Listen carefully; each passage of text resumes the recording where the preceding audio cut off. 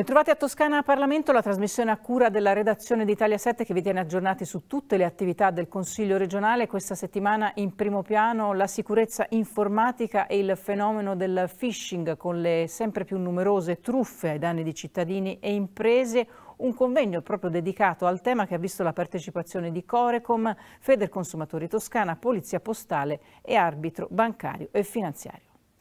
Sicurezza informatica e phishing sono tra i temi sempre più di attualità. Le truffe ai danni di cittadini e imprese sono in grande crescita poiché fanno leva sulla scarsa conoscenza dei pericoli che trovano gli utenti, spesso impreparati. Di questo si è parlato a Palazzo del Pegaso durante un convegno con i maggiori esperti del settore. Una giornata di lavoro e confronto fortemente voluta dal Consiglio regionale, Corecom e Federconsumatori Toscana con la partecipazione della Polizia Postale e dell'arbitro bancario e finanziario. Noi abbiamo la necessità di non voltarci dall'altra parte rispetto ad un fenomeno che cresce e che purtroppo continuerà a crescere, i furti di identità, i furti informatici. Siamo abituati a difendere le nostre case con i sistemi di allarme. Dobbiamo costruire sistemi di allarme informatici, avere evidenza di come puoi essere truffato, eh, insegnare alle ragazze e ai ragazzi a come ridurre questo rischio, perché eh, nel futuro con l'intelligenza artificiale eh, è evidente che il rischio di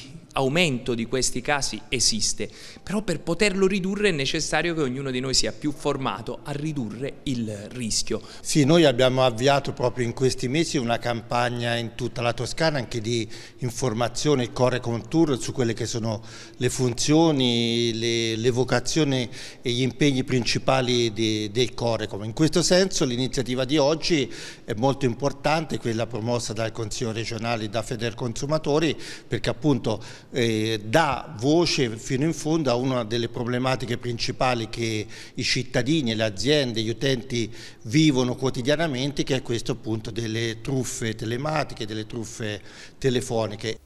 A fare il punto sul tema Francesco Verduci, vicequestore aggiunto della Polizia Postale di Firenze. La nostra attività eh, non è soltanto un'attività di repressione dei crimini informatici, che sono davvero molteplici, ma è fondamentale l'attività di prevenzione, anche perché eh, so, soprattutto so, dal punto di vista del, degli attacchi informatici, quindi parliamo del phishing, dei ransomware, dei furti di identità, eh, sempre più spesso sono attività che vengono condotte dall'estero, quindi le attività di indagini sono molto difficili e molto molto lunghe, è fondamentale l'attività di prevenzione, quindi riuscire a fornire ai cittadini ma anche agli enti e alle realtà eh, societarie gli strumenti per poter affrontare questi rischi. E infatti tra le nostre attività principali vi è la diffusione di informazioni sulle statistiche degli attacchi cyber e sui pericoli del momento. In questo modo le varie realtà istituzionali e anche private sono in grado di verificare se le loro reti informatiche sono idonee a, a sopportare eventuali attacchi di quel tipo che noi, che noi segnaliamo. Allora, l'arbitro bancario finanziario è stato istituito nel 2009 dalla Banca d'Italia. È incommiabile iniziativa perché è uno strumento semplice, di facile accesso, mh, economicissimo, eh, che consente a molti sfortunati nell'ambito di questi rapporti con le aziende bancarie di ottenere un'attenzione oltre che una tutela prontissima, immediata ed efficiente. È uno strumento che merita di essere eh, eh, incentivato, esteso, migliorato, è sempre possibile eh, e soprattutto non solo nell'interesse del momento patologico, diciamo, della vicenda dei rapporti, ma anche in quello educativo eh, eh, l'educazione sia nei confronti dei clienti sia nei confronti delle aziende bancarie ad una responsabilità sempre maggiore perché tutelino sempre di più i loro clienti nei confronti purtroppo dei malfattori. E pensiamo che sia un tema di assoluta attualità quale, sul quale non si deve assolutamente abbassare la guardia e non ce n'è mai abbastanza e quindi c'è bisogno di procedere con una capillare opera di informazione, formazione e educazione digitale dei giovani e degli adulti, perché ormai non possiamo fare a meno degli strumenti digitali per le nostre comunicazioni, per i nostri acquisti, per la nostra vita di relazione e ne facciamo spesso un uso inconsapevolmente incontrollato e questo ci espone a dei rischi gravi eh, che è bene appunto conoscere per poterli prevenire. Nella sala Gonfalone di Palazzo del Pegaso è stato presentato Generazione News, il giornale online degli studenti e delle studentesse della Toscana. Presentato a Palazzo del Pegaso il progetto del giornale online per e con gli studenti e le studentesse delle scuole secondarie di secondo grado della Toscana. Si chiama Generazione News, il giornale online degli studenti e delle studentesse della Toscana, la voce di chi ha la voglia, la forza, la capacità di leggere il mondo, vivendo da protagonisti consapevoli e perché no, sporc- L'idea di questo giornale, presentato nella sala Gonfalone di Palazzo del Pegaso, è partita proprio dai giovani, dalle consulte provinciali degli studenti e dal Parlamento regionale degli studenti, per essere poi recepita dal Consiglio regionale della Toscana, l'Ufficio scolastico regionale, l'Ordine e la Fondazione dei giornalisti, le scuole, con l'Istituto Sassetti Peruzzi di Firenze Capofila, grazie al dirigente scolastico Osvaldo Di Cuffa. Abbiamo sempre detto di dare più voce a chi ha meno voce. Attraverso Generazione News i giovani, i nostri ragazzi, nelle nostre scuole possono raccontare il loro punto di vista sul tempo che viviamo. È uno spazio libero, è uno spazio aperto, è uno spazio di confronto, è un luogo in cui provare a raccontare il presente e il futuro. È un modo per dare autonomia e per noi, per poter ascoltare, per poterci confrontare. Un grazie al Parlamento degli studenti, un grazie alla consulta, un grazie all'ufficio scolastico regionale. Viviamo un tempo in cui siamo inondati da informazioni, da notizie. Poi trasformare tutto questo in qualcosa di credibile richiede che le persone analizzino quelle informazioni e le trasferiscano agli altri in maniera più credibile. Ma innanzitutto è fondamentale eh, avvicinare i ragazzi alla lettura, indipendentemente dal mondo del, del giornalismo. È chiaro che quando poi appassioni i ragazzi alla lettura il passo successivo è coinvolgerli nella nostra, nella nostra professione, professione che in, che in, questo periodo sapete è bombardata da mille, da mille, informazioni e credo che questo sia un progetto utilissimo eh, per i ragazzi per drenare tutte queste informazioni che arrivano e elaborarle con le loro, le loro, idee. È chiaro che noi come, come ordine dei, dei, giornalisti la nostra funzione è quella di assistere, di essere vicini alle loro esigenze e accompagnarli in questo, in questo percorso. Tra l'altro eh, siamo molto sensibili all'informazione per eh, i giovani e soprattutto con, eh, con i giovani. E siamo una rappresentanza studentesca, il progetto nasce dal coordinamento regionale delle consulte in collaborazione con il Parlamento regionale degli studenti di Arezzo, eh, di, della Toscana e per l'appunto abbiamo creato questo progetto, abbiamo ehm, dato la possibilità a tutti gli studenti eh, della regione toscana per l'appunto di partecipare a questo bellissimo progetto. Quanti siete, in quanti hanno aderito a questo nuovo giornale?